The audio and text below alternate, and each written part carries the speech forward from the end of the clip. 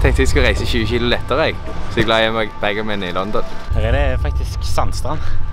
Jeg er litt redd for at jeg ikke er nede før klokka tolv. Jeg våkna ganske tidlig og så en eh, ganske drøy sky.